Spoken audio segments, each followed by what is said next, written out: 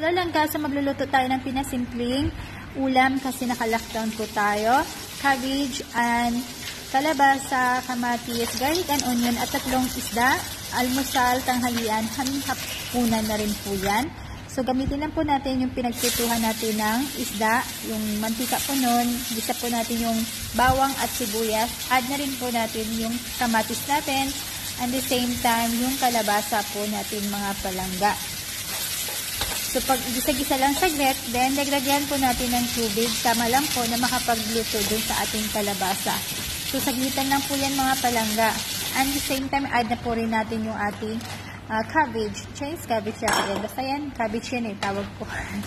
so, ayan na po yung ating pinasimpleng ulam mga palangga with magic sarap na rin. Okay?